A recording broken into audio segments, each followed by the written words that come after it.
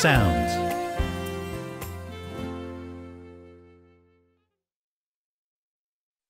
The high quality and expressive PA4X sounds are the basis of the styles on the keyboard sets. These sounds are also used when creating and playing MIDI sequences. In this chapter, we'll look at the sounds in depth. When the instrument is first turned on, the factory default style is Chicago Blues, and the keyboard set is already set up with a stereo piano sound across the whole range of the keyboard. To select a different sound, touch the upper one area in the upper right corner of the screen containing the name of the current sound, Concert Grand. Touch any sound on the screen to select the sound you want. Eight sounds are displayed at a time, and you can access more sounds by touching the tabs along the bottom. The sounds are grouped in categories which can be selected using the tabs on the left and right. Additional sounds can be accessed with the tabs along the top. Legacy accesses sounds from previous Korg PA series instruments. GMXG accesses the general MIDI and XG sounds. By the way, in some cases there may be more than six tabs of sounds in a particular category. If so, these arrow buttons navigate back and forth between the available tabs. Go to the Factory tab, select Brass category, and touch Big Band Brass 1. With many sounds in the PA4X, vibrato is added by either pushing the joystick forward or using aftertouch, pressing on the key after the note is played. With some sounds, the ribbon controller and joystick minus Y will also affect the sound. Go to the sax category. Tenor sax DN1. Defined nuance control is the ability to control several nuances of the instruments. In this example, if you press switch 1, then play a note, you get a glissando up to the note. After playing and holding a note, press switch 1, release the note and you get a fall off the note.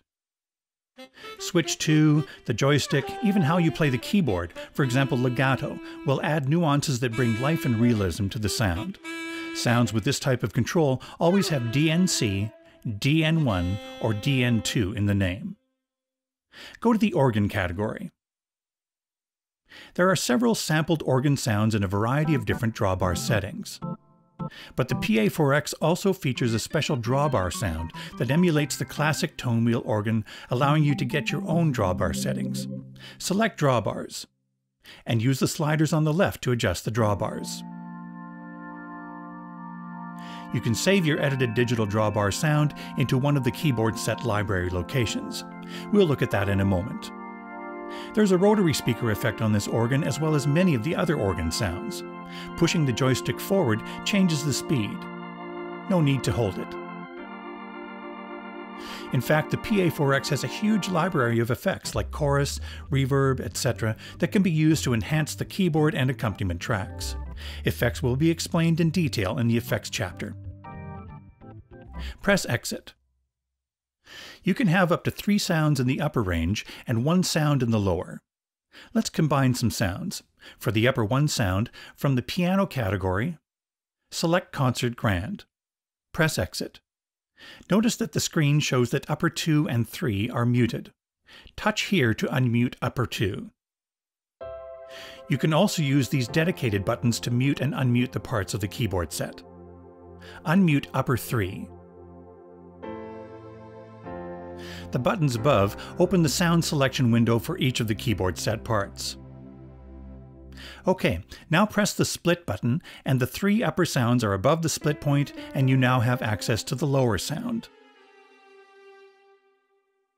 The split point is set in global mode, but you can temporarily override this. Hold down the split button until this appears on the screen. Now play the note where you want the new split to be. This new split point will be kept until you choose a new style, songbook entry, or a new keyboard set. Let's make some more changes. You can quickly bring all the upper sounds down one octave by pressing the upper octave minus button. Let's adjust the level of upper 3. Touch the volume tab to display and adjust the volumes. Touch in the upper 3 volume area. Now open the Page menu. We can save the keyboard set we've edited to one of the keyboard set library locations. For now, touch anywhere outside of the page menu to make it disappear, and let's take a closer look at keyboard sets.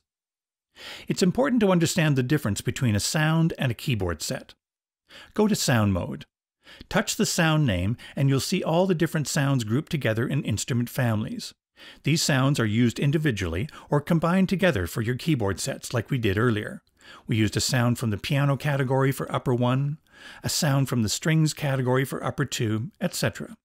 Go back to Style Play mode.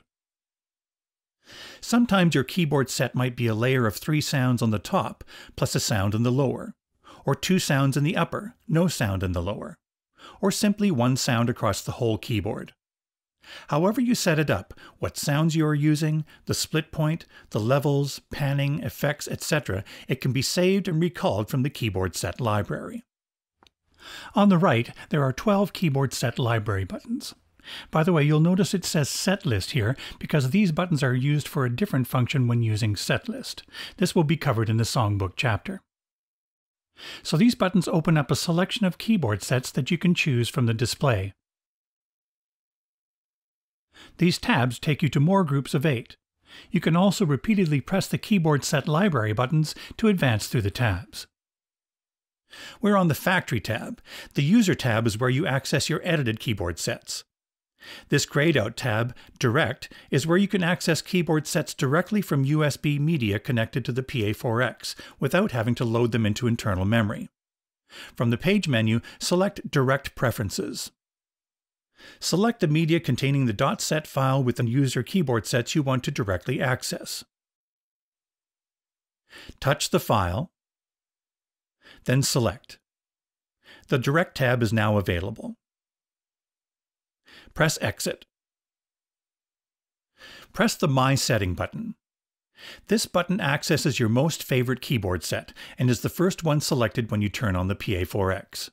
It's currently a stereo piano across the whole keyboard, but you can set it to be whatever you like to use the most. That might be a layer of electric piano and strings, a split of bass and organ, etc. It's a fast and easy way to jump to your favorite setting while performing. To save your favorite keyboard set or any edits you've done to My Setting, hold down the My Setting button until the Write screen appears. Touching OK on the screen would continue the write process and write over the current setting. For now, touch Cancel to keep the original My Setting unchanged. Instead of saving to My Setting, you can save to one of the keyboard set locations by holding down any keyboard set library button. Then use the screen to name it and to select where you want to save it. Press Exit. By the way, these three switches can be assigned to different functions. Once you find the best use of the switches for your musical needs, save that along with your favorite keyboard set into My Setting. When you turn on the PA4X, My Setting is the first keyboard set loaded in, so your switch assignment will always be as you want them. That switch assignment will be kept as you change to another keyboard set because assignable switch lock is on by default. But this can be unlocked in Global so you can have different switch functions for each keyboard set. Specific editing of the sounds is done in Sound mode.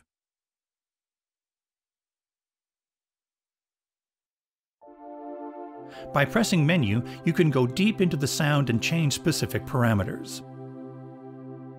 Press Exit. From the top page, you can make basic changes to the sound using the real-time controls on the screen. Any edits you make can be saved to the user area. In the next chapter, we'll look at styles where you'll see that sounds are also used by the different tracks of the style accompaniment. For example, the bass track might use a synth bass sound, another track might use an electric piano sound, etc. So basically, the keyboard sets and style tracks are all accessing the same library of sounds inside your PA4X. And there are hundreds of sounds to choose from, so the possibilities are endless.